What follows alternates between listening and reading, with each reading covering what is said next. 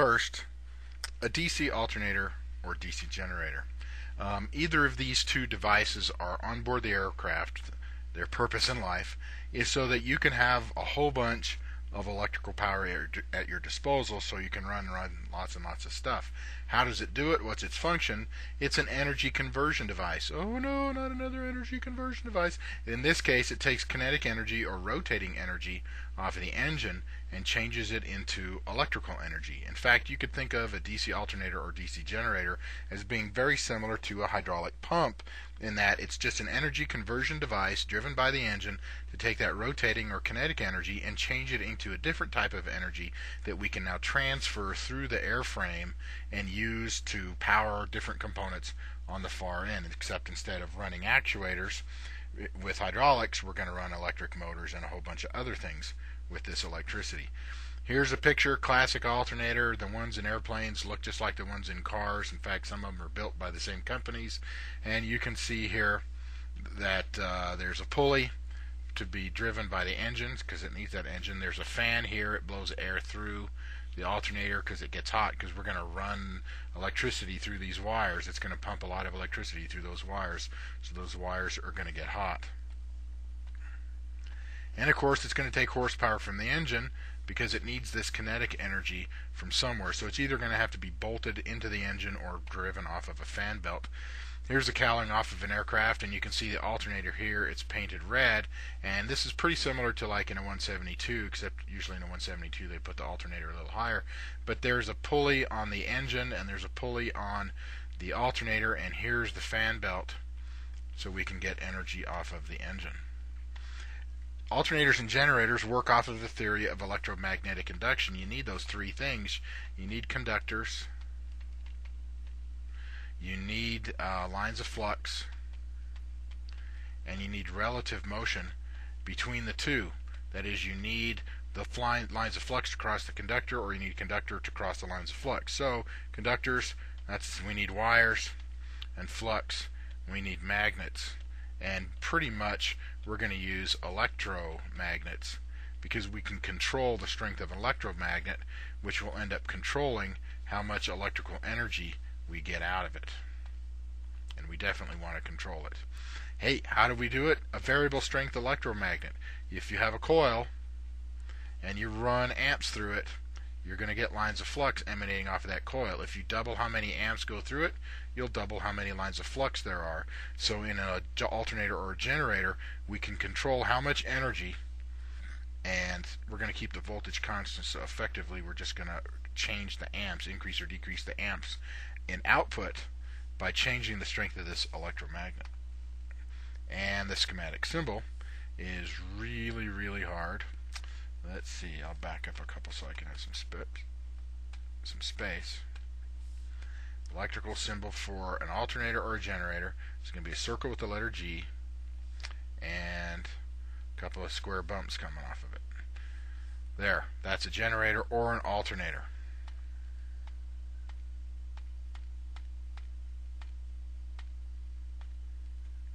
Voltage regulator. We need something to keep the voltage constant. If the voltage in the system goes too high, it could fry some components. If the voltage goes too low, they won't work well or they won't work at all. So we need the voltage to stay pretty constant. It's very similar to a uh, pressure regulating valve or a pressure regulator in a hydraulic system next to the pump, we want just enough fluid to go into the hydraulic system to keep the pressure up, but not too much so the pressure doesn't go too high. So same with the voltage regulator. It's actually going to be set uh, why it's there is to keep the voltage constant, and it's going to do it by changing or controlling the output of the alternator generator. If we turn more things on, the voltage regulator is going to tell the alternator or generator to put out more amps to keep the voltage up. It's just like water pressure in a house. If we run through a house turning on all the faucets, the water pressure will go down. So, in one way to bring that water pressure back up is to pump more water into the house. The, the metaphor works pretty good with generators and alternators. The voltage regulator is going to be measuring the voltage and it's going to tell the alternator or generator to put out more or less amps. And I think I have a picture right here. Oh. First, regulator does what two things? One, it measures bus bar voltage.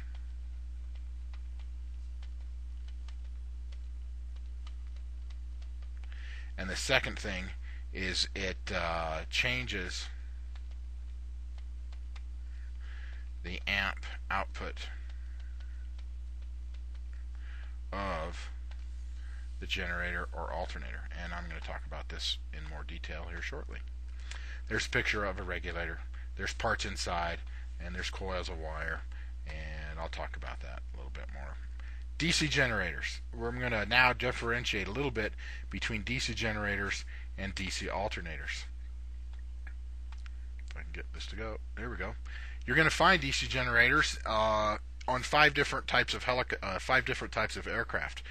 Uh, piston-powered airplanes and piston-powered helicopters that were built before, and that's an approximate number, 1965, had generators on them, and this coincides pretty much the same as it does with cars. If you look at cars in the mid 1960s, they changed over from having generators to having alternators, and we're going to get into those reasons here shortly and then you're going to find DC generator. But you're probably going, Mr. Johnson, I'm not going to fly a pre 1965 reciprocating airplane or pre 1965 reciprocating helicopter, so to how come I have to know about DC generators?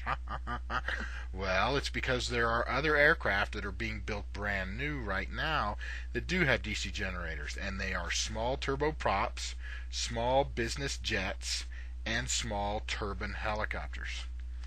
So they're all small small turboprops, small business jets, and if you want to abbreviate biz and call it biz jets, that would be fine. And then small turbine helicopters. These all have DC generators on them, and they're being built brand new. And I'm gonna, so that's why we're gonna make sure you understand about DC generators, is because you're likely to fly one of those aircraft as your first turbine-powered aircraft. Now, in a DC generator, in addition to having a variable strength electromagnet, there's also a um, permanent magnet. Here is a diagram of a DC generator. I'm not going to ask you to draw this on the test, and I'm not going to ask you to draw this in the homework, although if you want to hit pause and draw it, that's fine with me. This right here is the voltage regulator, and here is our bus bar. We'll just say it's 14 volts DC. And of course, you'll notice the voltage regulator is connected to the bus bar. The other side of the voltage regulator is connected to ground, so it can measure that potential difference, the pressure difference, the the, the voltage. And right here, this core, I guess I could change ink colors here. Right here, this right here, this is the core, and in a DC generator, it is a permanent magnet. In fact, from now on, in the rest of your career as a pilot, when you see the word generator, you're going to go, aha, permanent magnet. Well, this permanent magnet is going to generate lines of flux, but most of the lines of flux, most of the lines of flux are from, coming from this right here, and this is the field. And you're going, Mr. Johnson, that looks like a coil to me. How come you're calling it a field? Well, it's because it generates lines of flux, that is, a magnetic field. And how big this field is, that is, how strong it is, that is, how many lines of flux, that is entirely dependent upon how many amps go through it. So amps go from negative to positive. Amps are going to go through here, go through the coil, and through the voltage regulator to the bus bar and we'll talk about where that power comes from here shortly. So if we double how many amps there are going through it, we can double how many lines of flux there are. This coil right here, we're going to call it the output winding. Technically, it's the armature, but we're pilots and we're going to label this as something that uh, makes a lot of sense. This output winding, that's the part that gets spun by the engine. You can think of it having a, a hinge in the middle and it's spinning around. So these wires of the coil are crossing the lines of flux. Wow, electromagnetic induction, man. That's where we have conductors crossing lines of flux. Hey, that crossing, there's our relative motion. So we're going to actually induce a current flow in this output winding. So we're going to actually induce a current flow in this output winding, and that's actually where the electrons can go. Also, if we have things hooked up to the bus bar, say a light bulb, these electrons can go through the light bulb, and of course they're going to get pushed. They can go through the field and through the voltage regulator and they can get pushed. So this output winding, it's going to be pulling electrons in and on this side, on the plus side, the side that's hooked to the bus bar, and it's going to be pushing electrons out on the negative side. So anything that's connected to a ground and it's connected to the bus bar, electrons can travel. Let's get rid of some of this stuff here. Okay, so let's call this steady state here for a minute. Let's say that the engine is spinning. So if the engine is spinning, and this is geared to the engine, or it's got a fan belt spinning it, this output winding is spinning around, and it's crossing the lines of flux, and amps are getting produced. Um, some of these amps, like I said a minute ago, can go through the field. Now, let's just say we turn a bunch of things on. Turn on a landing light, and we turn on a motor now, what's going to happen? If this was a water pressure in our house and we turned on faucets, the water pressure would go down. Well, the voltage regulator over here, the voltage regulator over here, it's connected to the positive, to the bus bar, and it's also connected to the ground. So it's measuring that pressure. If the, uh, sorry, I erased that E, I got to put the E in there. If the pressure goes down, the voltage regulator is going to allow more electrons to go through it. That is, it's essentially works like having a variable resistor in here. And if the pressure goes too down, down too low, now this uh, voltage regulator is going to be set at 13.5 to uh, 14 volts DC, or exactly double that if it's in an airplane that's 28 volts. In that case, it'd be 27 to 28 volts DC. And if it goes below wherever it's set at, let's say it goes down to 13, the voltage regulator is going to increase, is going to crank this up and reduce the resistance. So whatever electrons are available, more of them go through the field winding, more of them go through the field winding, and we get more lines of flux. If this output winding is spinning around. Now it's crossing more lines of flux than before.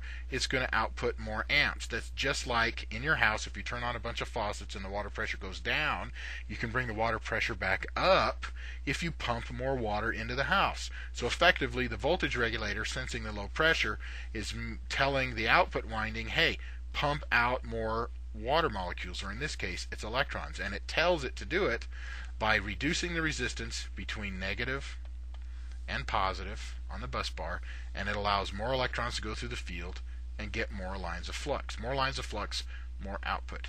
Now let's say we turn these things off. We turn these things off the output winding is generating a bunch of electrons. It's like running through your house and all the faucets are on, but now you run through the house and bring a bunch of friends over and have everybody turn the water faucets off at the same time. The water pressure inside the house would go up a little bit. Well, the voltage regulator, it's measuring pressure connected to positive and negative. If it sees that the voltage is going too high, it's going to reduce the number of electrons. That is, it's going to increase the number of resi- the resistance and it's going to get reduce some of the, the amount of amps going through it and it's going to get rid of some of the lines of flux. And so now when the output winding spins around it crosses less lines of flux so it's going to put out less amps so every time you turn something on or off, the, the voltage between the bus bar and negative is going to change. The voltage regulator is going to change its resistance, allow more or less electrons through the field, and so the output winding, even if it's spinning around at the same RPM, because you haven't changed engine RPM, even if it's spinning at the same RPM, we can either put out more or less amps. And this happens over and over and over again. The other way is to spin the output winding faster. Let's say you push forward on the throttle and you spin this faster. If we spin it twice as fast and it crosses the same lines of flux, it'll produce twice as many lines of flux. If it spins twice, correction, if it spins twice as fast, across the same lines of flux, it'll produce twice as many amps. Well, if we pump too much amps into the system, the voltage would go too high, but again, the voltage regulator is measuring the difference between the bus bar and ground. So if the voltage goes too high, it'll again reduce how many amps goes through the field and reduce how many lines of flux. So if it spins faster, it just won't have as many lines of flux to go in. And of course, the opposite is true. If we spin the output winding slower, and we aren't producing enough amps, then the voltage regulator will measure the lower voltage, allow more amps to go through, get more lines of flux, and even though the output winding is spinning slower, if it crosses more lines of flux, it'll put more amps out. So every time we change engine RPM, the voltage regulator is going to measure the change in voltage and change the strength of this electromagnet. So this field is pretty much every time we turn something on or off and every time we change engine RPM, the field is going to have to have its strength changed by the voltage regulator so we get the correct number of amps being produced by the output winding. Now, the core, which is a permanent magnet, excuse me,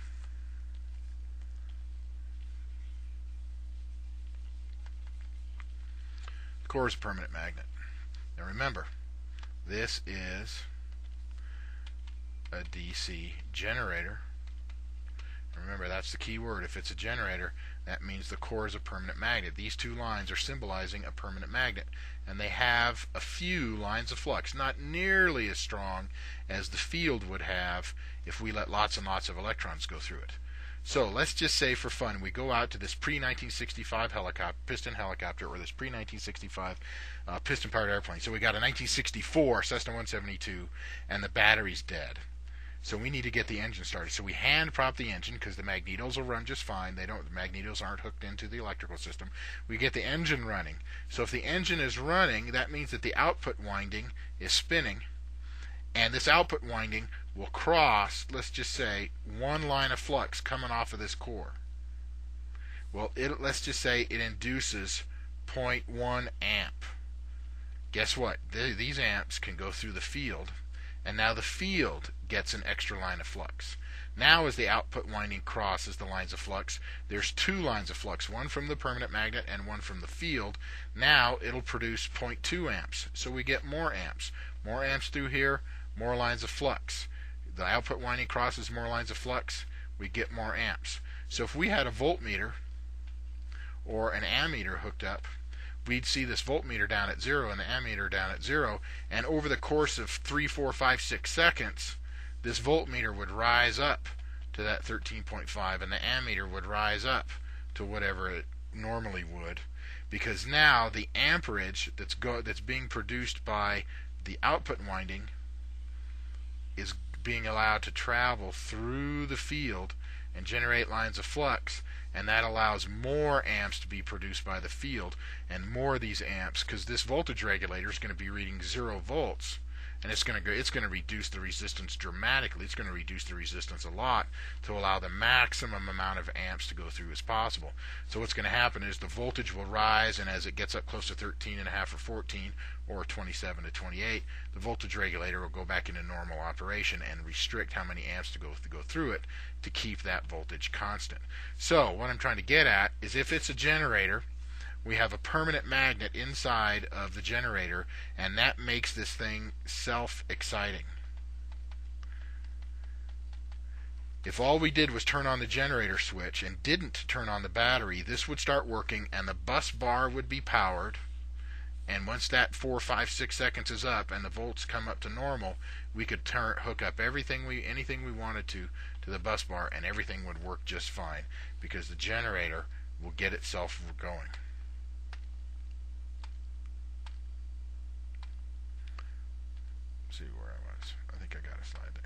Get back to this momentarily. Yep, and there it is. The core is a permanent magnet, and that means you're self-exciting. Now let's take a peek at these pictures. All right, here's the inside of a generator. That part that spins around, the output winding. I oversimplified the drawing. There's actually a whole bunch of coils. There's a piece of copper strip right here. This copper strip, let's see, let's try a different ink color this copper strip right here, it goes in here and there's got a winding in here and it comes out on the opposite side. You can't see it. It's on the opposite side. And we're going to to uh, this is the part that the lines of flux are going to cross and we're going to have to pick up the electricity. One of these will be positive, the other will be negative. Just like here, one of these was positive and the other side was negative.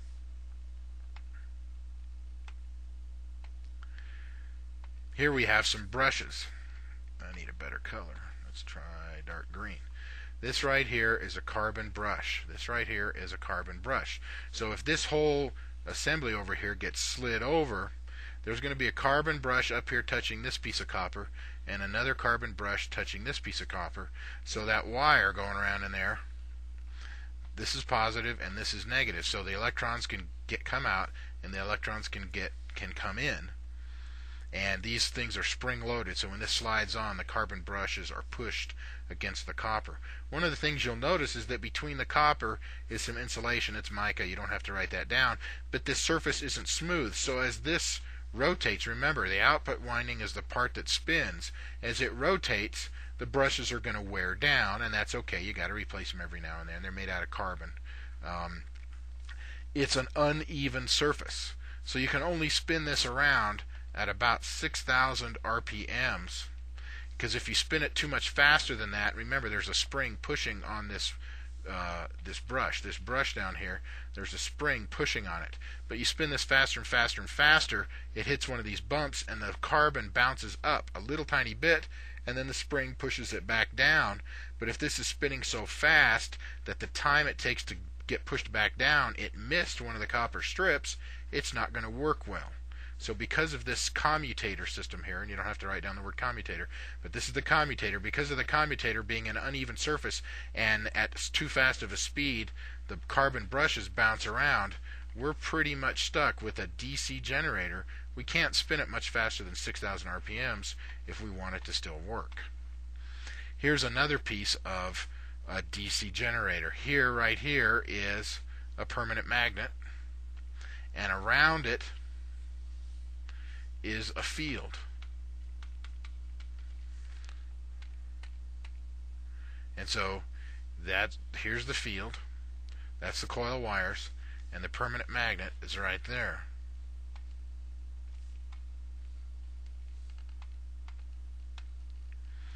So there we are. Now this, I oversimplified the drawing. This actually has one over here, one over here, one over here. It's got four of them. But as you can see, there's a permanent magnet actually inside of the field winding, and what's actually occurring is that the lines of flux are crossing like this. So the armature or the uh, output winding, it's rotating around inside of it. And so you'll notice right at this point right here, we're crossing a whole bunch of lines of flux all at once. So that's actually the electromagnetic induction is occurring four places at once but let's not too worry about the complexity of it. Let's just understand that we have a controllable electromagnet, that's the field winding, and it'll change the strength of or how many lines of flux there are. And then when the output winding crosses it, it can cross more or less lines of flux. And here's how it all gets put together. Here's the field and the the permanent magnet, which is the core and then here's the brushes that are going to get pushed in there. It's going to get slid over to hit the commutator and then this whole thing goes down into the middle of between the fields. Now low engine RPM remember we're talking DC generators. Actually what we're talking about for the moment. What we're talking about is these reciprocating airplanes and reciprocating helicopters that are pre 1965. So let's say we have an engine and it's either got a propeller on it or the shaft is going to the transmission of this helicopter and we'll say that we've got this DC generator stuck on the back. If we look at the RPM of the engine and we look at redline, generally speaking, the red line's up over here, and it's a little bit less than 3,000, say 2,700. So if we know that this engine is going to be spinning a little under 3,000, and we know we don't want to go over 6,000 RPM on the generator, then we can gear this to about 1 to 2 or 2 to 1. That is, the gear ratio in here will be so that the generator spins about twice as fast as the engine. So that way, when we get up to red line, we're not exceeding 6,000 RPMs. Well, if we've got this engine and we pull it back to idle, we'll just say idle is at 600 RPM. 600 over 13, over 3,000 is uh, 6 going to 35 times. So this is one fifth or of the RPMs, or that's the same as about 20%. So we're going to idle this engine when we pull it back to idle. We're going to idle it at about 20% of what it could spin at. Well, that what that means is now the generator is spinning at 20%. So if we have 6,000 times 0.2, a fifth of 6,000 is going to be a little bit over a thousand. 2 times 6 is 12, so I bet you that's going to be 1200 RPM. So now the question becomes, if we pull the engine down here to idle, now the generator, instead of spinning at 6,000, now the generator is really only spinning at 1200 RPMs. It's not going to be producing nearly as much uh, amps, nearly as many amps as it would if it was spinning at a really, really high RPM. So let's try it like this. Let's see. Oh, that's not what I wanted. Hang on. Don't go away. There we go. That's what I want. Now, let's look at generator RPM versus amps. And let's say that this is at 6,000, which of course is red line. Remember, this is generator RPM. This is going to go up. There we go. Is going to go up, and it usually levels off a little bit before you get to 6,000. But we're only, there's half, there's 25, here's 20%, which that's this 1200 that when the engine's at idle at 600 RPM, the generator's spinning about twice as fast. So how many amps can the generator produce when the engine is only spinning at 20% and the generator is only spinning at 20% compared to its maximum available? So let's just say we can get 100 amps out of it when the engine is spinning at above 60 or 70 percent. Down here at 20 percent, when the engine's at idle, according to this graph, we're going to get less than half. We're going to get maybe a third of the amps that we would otherwise. If we've got a whole bunch of avionics turned on, then it's very likely that the generator can't put out enough amps and we're going to get a low voltage light.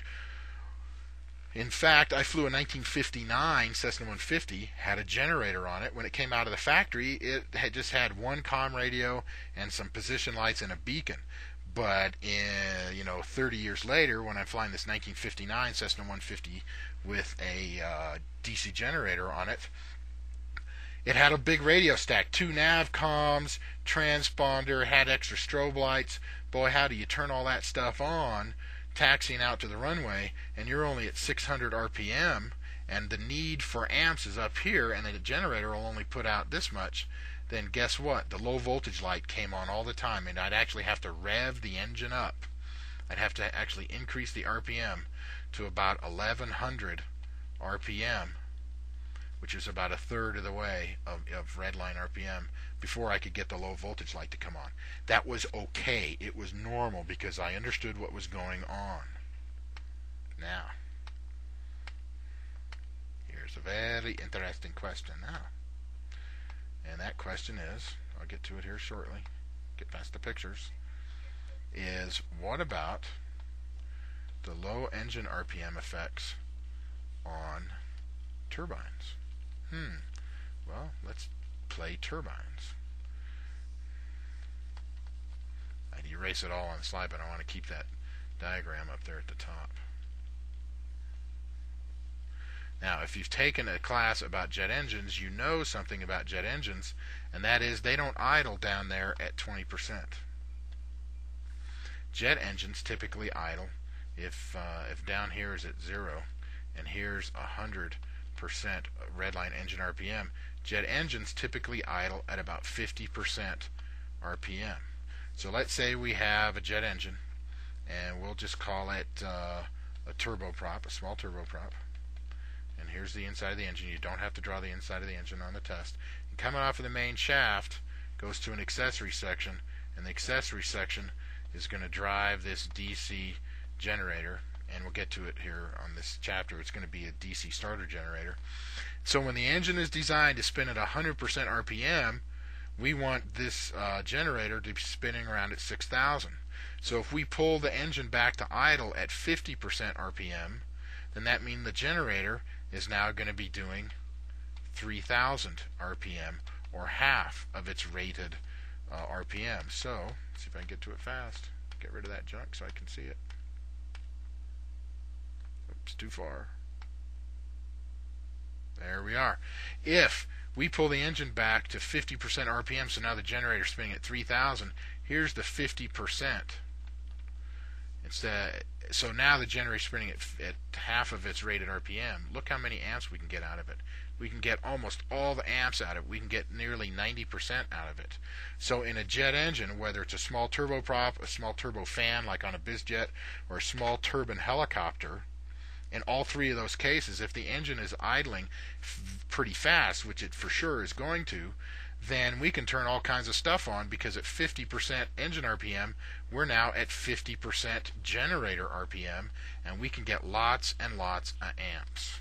Lots and lots of amps. So we don't have this problem with DC generators on turbine engines because turbine engines idle so fast that the generator is spinning pretty fast. Now, this last line here, DC starter generators are found on what three type I mentioned. It's a starter and it's a generator. That is during engine start, it's an engine it's a motor. It's an energy conversion device. It takes electrical power and converts it into kinetic energy. After you get it started, you flip the switches and you turn this DC starter motor into a DC generator. Now it takes kinetic energy off of the engine and and turns it into electricity.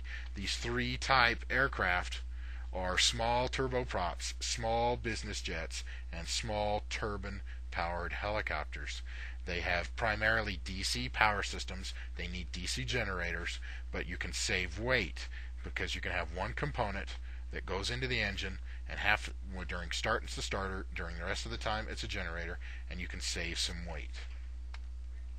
And here is a picture of a small turbine engine and somewhere in there is the shaft. The shaft comes down to the accessory gearbox down here, and here is the DC starter generator that goes into that accessory section. So during start, power leaves the starter and makes the engine spin, and then during the rest of the time, the engine spins and power goes in the opposite direction, so we can get electricity out of the starter generator. It's always connected to the engine. You can't disconnect it, and I've never seen one on a fan belt. Excuse me. Okay. Now that you know everything you always want to know about DC generators but were afraid to ask, now it's DC alternator time. Dun, dun, dun. Where are you going to find DC alternators? Well, on all those reciprocating powered airplanes and reciprocating helicopters that were built after 1965. Again, that 1965 is a generic number. It's not exact, but it's pretty good mid 60s. So, the airplanes you're used to flying, the helicopters you're used to flying, if they're a piston engine job and they're made after the mid 60s, instead of having DC generators, they have DC alternators. And you're going, ah, Mr. Johnson, it doesn't have the word generator in the title hmm, I wonder if it still has a permanent magnet. And if you're thinking about that, Yahoo, and you're right if you thought that no, it doesn't. Here is a picture. It's pretty typical on light aircraft and light helicopters that are piston powered. You can see the flywheel here. The propeller is going to be out here in the front, and here's a fan belt or call them fan belts, but in this case it's driving an alternator. So here's the pulley, and here's the alternator. You can actually see the red insulation on the wires inside the alternator. They tend to get hot, so it's nice to have air blowing through it. I got another picture here. Here's an alternator. Instead of being mounted on the front of the engine, it's mounted on the back. This is actually the firewall, and the cockpit is that away. And this is the back of the engine right here. This is the engine accessory case. And here is the last cylinder. The front of the engine is to the left and off of the accessory case they've got a pulley coming out here in the back and there's actually a fan belt running a pulley to drive the alternator. So you could have an alternator with a fan belt on the back of the engine. And oh wait here's the front of the engine. Here's the propeller flange on the front of the crankshaft that the, the propeller is going to get bolted to. Here are the cylinders. This is a six cylinder job three on each side. You can see the back of the firewall back here the instrument the windshield would go up from the top from there. And here's an alternator, but it's bolted directly into the engine. You'd be able to see that on your pre-flight. You'd have a big old hole right here and a big old hole right here. You'd actually be able to see the alternator, but hey, no fan belt to worry about. I kind of like that. And then here's the last insulation I could find a picture of. This is the back of the engine. Here's a magneto. Here's another magneto. Here's actually a starter motor bolted into the accessory section of the engine. Here's an oil cooler, so some of the air coming in from the front of the engine can go down through the oil cooler. And here are three cylinders, with three on each side. We can't see the other three. And then down here is the oil filter. And sure enough, here is an alternator bolted right smack directly into the engine without any belts. So there's a lot of different ways you can hook an alternator up to an airplane engine. Typically on cars, it's with a fan belt. Okay, here is a diagram of a DC alternator. And if you thought that since the word generator is not there, it doesn't have a permanent magnet, you'd be correct. In fact, this right here, this core is made out of soft iron, no carbon, and so no retentivity.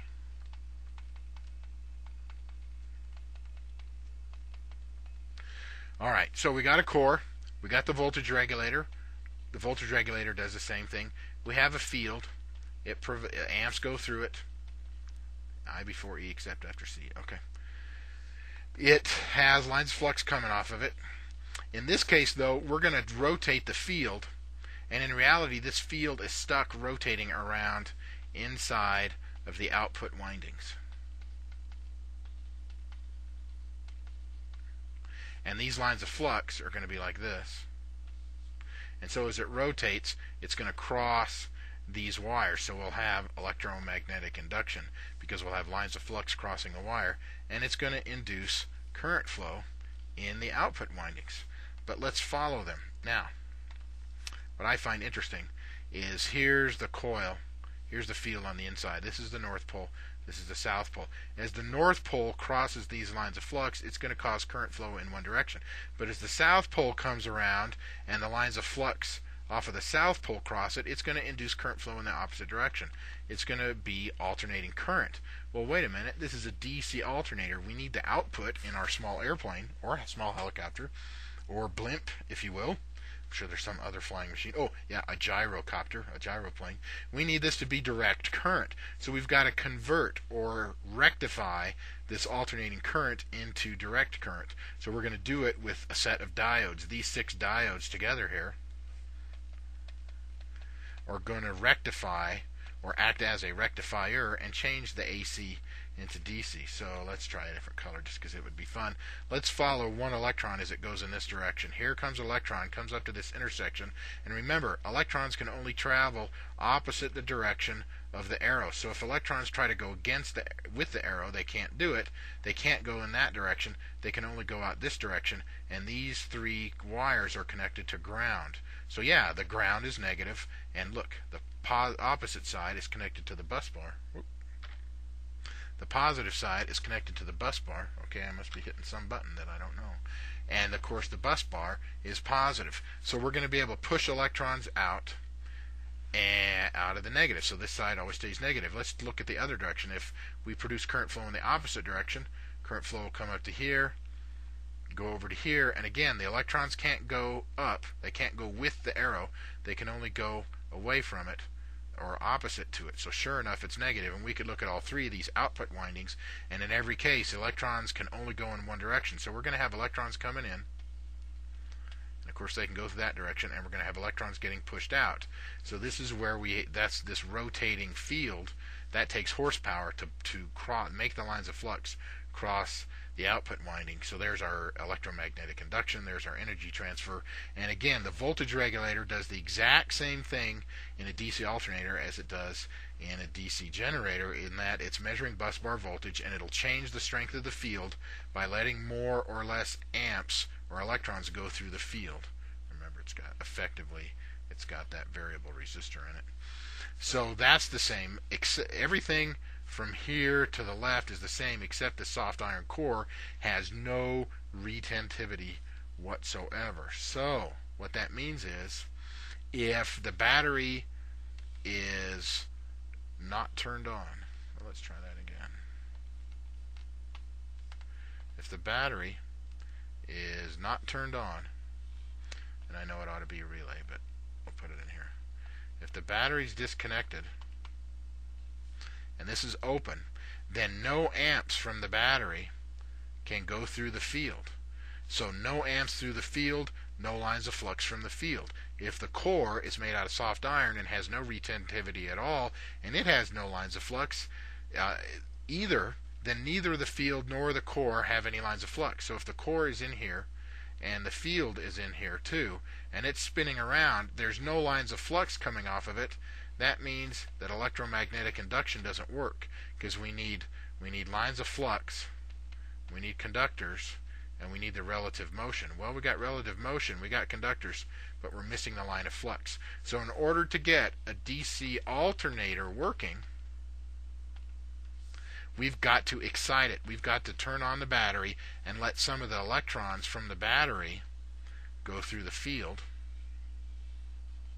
And now we'll get our lines of flux. So now we'll have lines of flux in here to cross the output winding. And once it gets going, it can produce uh, amps, of course, and feed the field. Once it gets going, you could actually turn off the battery and it would still work because the output windings or have electrons going through them. The diodes change it from AC to DC and keep pushing electrons out of the negative side of the alternator, the core, the, uh, the ground, so these electrons could run through the field and the voltage regulator could control it. And but we normally don't do that because we like having a nice charged battery. Let's see how much I missed. So, we need an external current to get excited. So, you could say that a DC alternator has to be externally excited.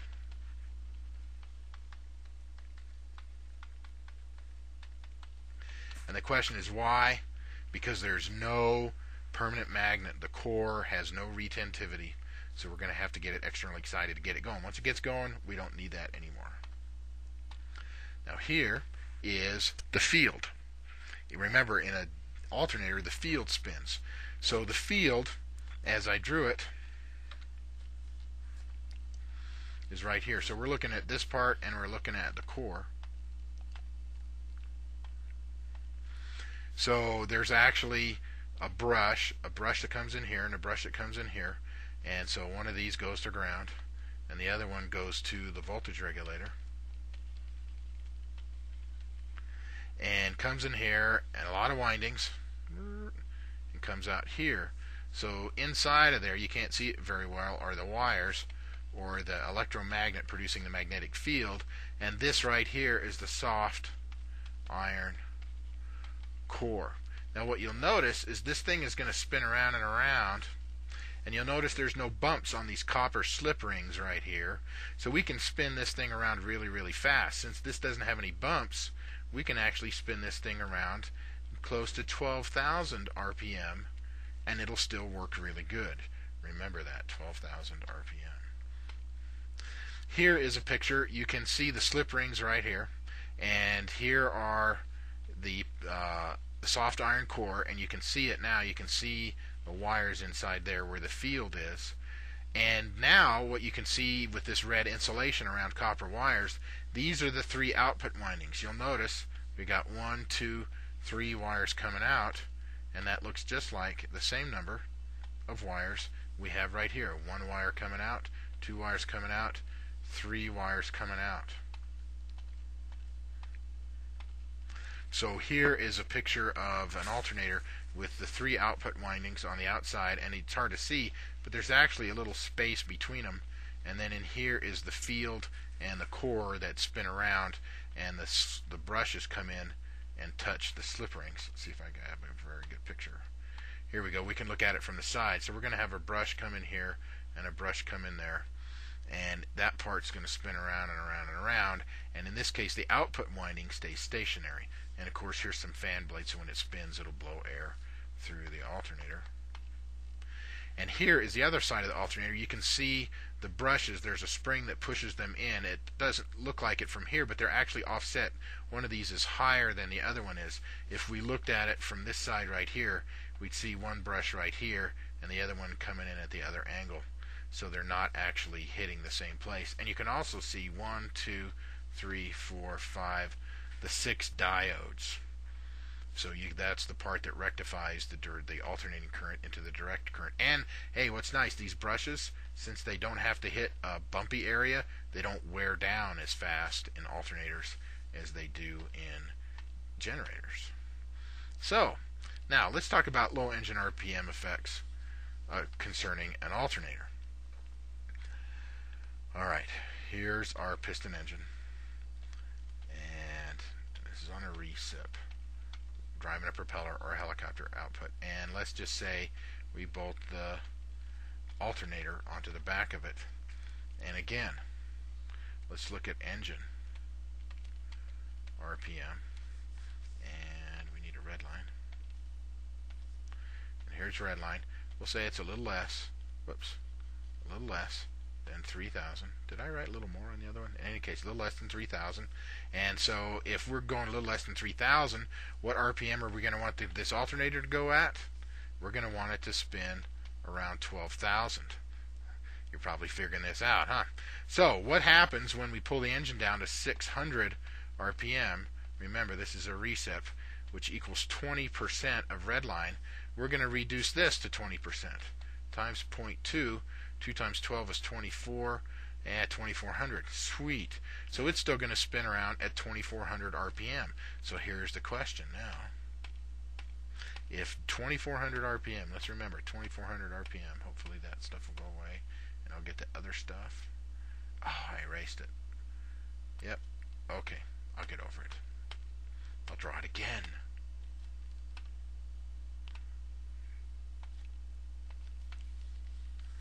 If we have that same graph, except now red line is at 12,000 RPM, and here's say a 6,000, and this is generator, correction, this is alternator RPM, and amps. Remember, the amps would come up, and by the time you got to 6,000, it was already cooking like crazy. Wow, if we pull it down to 2400, Here's 3,000. Here's about 2,400 alternator RPM. Wow. Compared to 100%, we're producing the vast majority of that uh, amperage, even though the engine is at a low RPM, since our gear ratio, instead of 2 to 1 with the generator, now it's about 4 to 1. So instead of pulling it back down to a, the alternator to a really low RPM, it's still spinning around at 2400 RPM, not 1200. So we can still get a whole lot of amps out of it, even though the engine is at an idle RPM. So therefore, in general, on aircraft that have a DC alternator, since we can spin an alternator around so much faster, even when we pull the engine back down to idle, the alternator is still spinning a reasonable speed, and we can get a lot of amps out of it, noticeably more than half of the rated amperage of the alternator. So we generally don't, even if we're at idle, have the low voltage light come on on an aircraft that has a DC alternator, even when we're on the ground and we have a whole bunch of stuff turned on. Now, there are some airplanes where you turn everything on for night. You got all the light, external lights on, the rotating beacon, the strobes, the position lights, the landing light, the taxi light, a whole radio stack turned on, all the lights on inside the cockpit. You may actually go a little bit past this. So it's possible that on an aircraft with a DC alternator, you might get the low voltage light to come on, but you're going to have to turn pretty much everything on on board the airplane. So, guess what? You might have to bump it up maybe to 800 RPMs to get a little more amps, but that's pretty unlikely with an airplane with an AC, uh, correction, a DC alternator. And we already saw these pictures. And we saw that picture. And we did that one. We looked at these. There we go. So low engine RPM effects? Nope.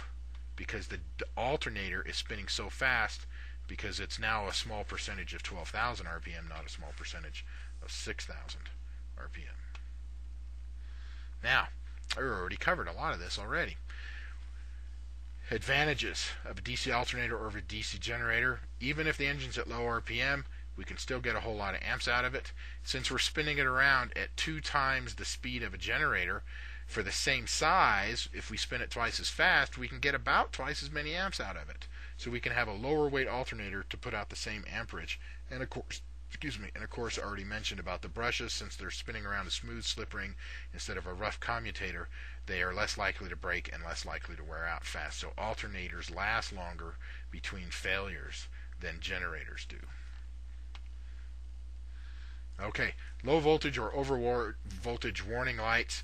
There's no picture to draw on the airplanes. They're different. Uh, why are they there? You'll notice the purpose is exactly the same as a voltmeter, as an ammeter, as a hydraulic pressure gauge. It gives the pilot the an indication of the system condition. Uh, but its function is different. Of course, in this case, it's telling you the pressure. It's essentially displaying uh, an indication that the pressure, the voltage, isn't what it's supposed to be. If it would make it easier for you to write voltage right here or volts, that would be fine with me. It's not giving you an exact absolute number, but it's definitely telling you that the volts are too high or too low. Avionics bus, wow, that one's really tough. It's a bus bar. And of course, the generally accepted reason why we have bus uh, avionics separate avionics buses so that we can disconnect it from the main bus so that when we turn off or turn on the alternator generator, if the voltage goes a little too high or too low, it won't negatively impact the, all the avionics. It won't damaging them. So how does it do it? What's its function? It isolates them. And of course, the other nice thing is that you don't have to turn all the darn switches off. You can flip one switch, and they all turn off, and you can flip one switch, and they can all come back on again. Current limiter the uh, electrical symbol for a current limiter looks like this. That's essentially two black arrows filled in, pointing towards each other. It's not as pretty as I had intended. There we go. So there's our current limiter. You'll notice the purpose, why it's on board the aircraft, is identical to that of a circuit breaker, and a fuse. It's there to keep wires from getting too hot and causing a fire. You'll also notice that the function is almost exactly the same, except we've added something. For a long time, current limiters, there's a lot of different ways to have current limiters. One of them is to have a slow blowing fuse or a slow operating circuit breaker. And typically, we're going and I don't have to memorize these numbers, but 30 seconds to a minute, it's going to wait. It's designed to uh, allow something to have extra amps go through it for a little while, but then at some point it's finally going to go, okay, something's really wrong and it's not getting corrected, so it's going to open up the circuit. So if too many amps go through it, but that's the big difference. So be careful. A circuit current limiter is very similar to a circuit breaker or fuse, as far as pilots are concerned, but it takes a much longer time before it pops or before it blows. Okay, here is the um, DC alternator generator circuit. So you might want to hit pause and draw this out and then uh, hit play again and I'll tell you all about it. Okay, in this chapter we've covered a lot of things. For instance, we've already talked about the voltage regulator. And the DC alternator or DC generator. And of course the current limiter.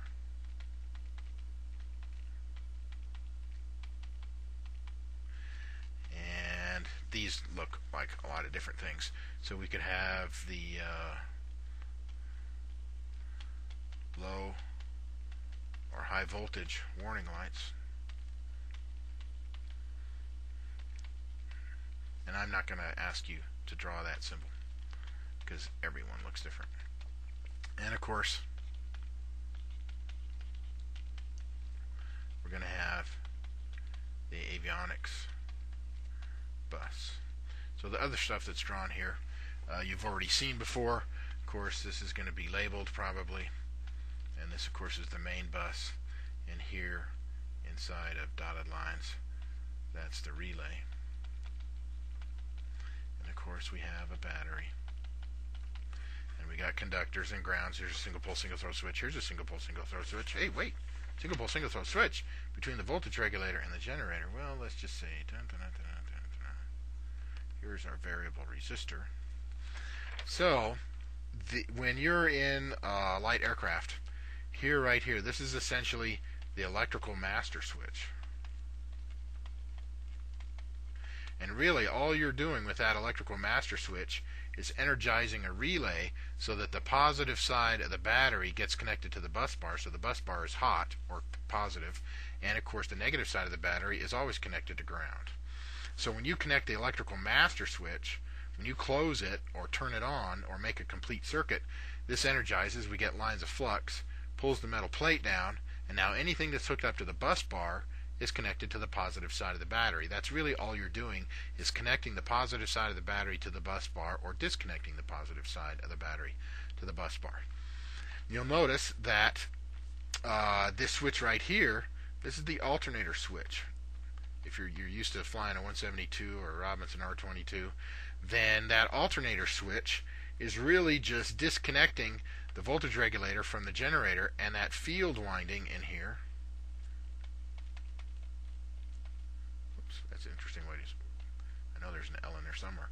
That field winding in there, if you disconnect it, how many lines of flux are you going to get off of it? None. So how much is this generator or alternator going to produce in amps? None if it's an alternator. And in a generator, even though there's that permanent magnet, we're talking 0.1 amps if it's got a permanent magnet in it. So that's effectively none. So you can turn the generator or alternator off by opening and closing the alternator switch because you're effectively opening up the circuit to that that uh, magnetic field. And so now, if there's no lines of uh, no amps going through it, you won't get any lines of flux. No lines of flux, no electromagnetic induction, no electromagnetic induction, no electromagnetic induction, no amps being produced. Okay, you also notice that there's a circuit breaker here to the voltage regulator, and let's just say for fun, it says 5 on it. Well, if we use our rule of thumb and multiply by 0.7, that means really under maximum conditions only 3.5 amps is going through it, which means that's how many amps it takes to run the field if the generator or alternator was producing 100% of its rated amperage. So usually that's like 5 or 7 amps, so it's usually like 3.5, 4, 5 amps, not very much. Of course, also in line with the generator, we have our shunt. And of course, we have our ammeter. And of course, you notice this circuit breaker right here, this T means we can pull it out if we want to. The circuit breaker right here, since it doesn't have the T on it, that means if we wanted to, we couldn't pull that circuit breaker out. Okay, I think I got everything in there I want. Oh yeah, all right. So let's look at this next one. Low voltage indications versus high voltage indications. Well, if the voltage goes too low, we'll probably get a low voltage warning light. If we had a voltmeter, it would go below that 13 and a half or 14 or go below that uh, 27 or 28. So if we had a voltmeter and normally it's 13 and a half or 14 or if it's a 24 28 volt system it's 27 to 28. If the voltmeter goes down say to 12.6 whoops if the voltmeter goes down to 12.6 in this system or if it goes down to uh, 25.2 if it's in a higher voltage system. This these are the voltages of the battery. Did it again. Those are the voltages of the battery, so that's telling us, hey, we're running off of battery power. And of course, as the battery discharges, the voltage is going to go down, and we'll talk some more about that when we get to battery indications. Also, if it's a low voltage, the lights may start going dim the lower the voltage goes, the more likely the avionics, the radios, are going to go. Uh, I can live with lights that are a little dim. I can't live quite so easily with avionics that crap out.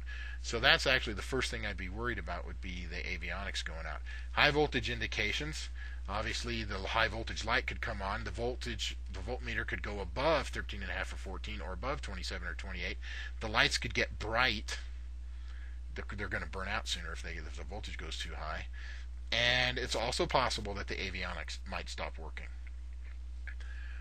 Over voltage relay. There's a lot of aircraft, they put this over voltage relay into the voltage regulator, and it's essentially an electromagnetically operated single pole, single throw switch, so that if the voltage gets really, really high, say above 18 or above 32, something like that, it actually opens the circuit effectively the same way that the alternator does. They put in another switch right here, and that relay, it's, I mean, it's relay operated. If the voltage goes too high, that opens up. Oh, I erased the whole thing. Sorry about that. In any case, it'll open up the circuit, and now it turns the generator off because typically you can't get an over voltage unless the generator is putting out too many amps. Okay, let's say you go out to the airplane and the battery's dead. You turn on the master switch and the turn coordinator doesn't make much noise. And you might not even notice if the, uh, as long as the lights come on, because in the daytime you don't really know how dim they are anyway. So you go out to start the engine and it goes, and the battery's dead. If you know that the master switch had been left on and the battery was just dead excuse me, because somebody left it on, then you go, okay, fine, I know what happened, the battery's okay. excuse me, I'm just going to get a jump start and uh, we'll get the engine going. And uh, when the alternator kicks in, it'll charge the battery. But if you go out to the airplane and the battery's dead and you try to start it and it won't start, and you don't know why, the battery is dead, you don't know for sure that somebody just left the master switch on, then you don't really know what's wrong with the battery. It might just be dead from somebody leaving the master on, but it might be dead because of an internal battery issue. So unless you know what it is, that battery is unairworthy, and you need to make a decision. If the battery's unairworthy, can I go on this flight? That'll be a question that you'll need to think of as a pilot in command. Okay, let's talk about, just for a short moment, we're going to talk more about it in another chapter, about a complete failure of the alternator or generator. You're going to run the checklist. Hey, we all got a checklist. And essentially, what's going to happen on the checklist is it's going to tell you to operate this here switch. It's going to make sure that the battery electrical switch is turned on so that the battery, the positive side of the battery is hooked to the bus bar. You're going to make sure you're going to cycle this switch. It'll probably tell you to make sure that this circuit breaker is working. If it's the kind you can pop in and out, I'm probably going to pull it in or out a couple of times, and I'm going to open this switch a couple of times. If that doesn't do it, I might decide, maybe, to operate the electrical master switch once or twice. Depends on, you know, if I'm talking to somebody on the radio, I'm certainly going to let them know before I turn off the master switch because the avionics won't work because the avionics, even if it's turned on, if this main bus bar doesn't have any power from coming from the generator and it doesn't have any power coming from the battery because I turned the switch off, I'm gonna the avionics aren't gonna work, so I'm gonna have to tell somebody before I turn the master switch on, and that's mostly all you can do. Of course, now you're gonna shed unnecessary electrical loads. You're going to turn things off you don't need, and you're going to be concerned about how long is this battery going to last, which we'll talk about that in another chapter and you want to make sure that nothing is discharging the battery that you don't need. So you're going to turn off extra things you, you don't need, and you're going to open this alternator switch or generator switch. And if I have the kind of circuit breaker that you can pull out by hand, I'm going to open it as well because the voltage regulator, remember in there, it's a essentially a variable resistor. So if it reads the voltage as being really low, then it's going to reduce the the if this switch is closed and the circuit breaker is closed, it's going to reduce this, the resistance in the circuit to try to allow lots of amps to go through this field. Well, amps could leave the battery and go through the field, and you could drain the battery at, you know, 3, 4, 5, 6 amps, and you want to save that power. Now, in theory, inside of that alternator are those diodes that won't let the electrons go through there backwards, but oh wait, no, this is the correct direction. So the voltage regulator ought not to be allowing this to occur, but I'm asked suggesting if you if it's not on the checklist, open the alternator switch and if it's possible, pull that alternator circuit breaker, but only do that after you've followed the checklist and taken every step possible to try to reset the alternator or the generator. So that's that part right here. And of course, paralleling circuit. That's if you're on a multi-engine airplane you've got more than one alternator and generator. Effectively, it's a wire between the voltage regulators so that the voltage regulator so that the voltage regulator connected from one generator will get connected to the voltage regulator on the next one. so that the voltage regulator will allow the same number of amps to go through this field as the same number of amps that are going through the field on this generator. So both of the generators or alternators will put out the same amperage. So wherever that needle goes on one, it'll go to the same place. So that way one generator isn't uh, going to wear out faster than the other one is. And there's no switch in the cockpit. I've not seen one. If, if you turn one generator off, you don't have to worry about it affecting the other generator.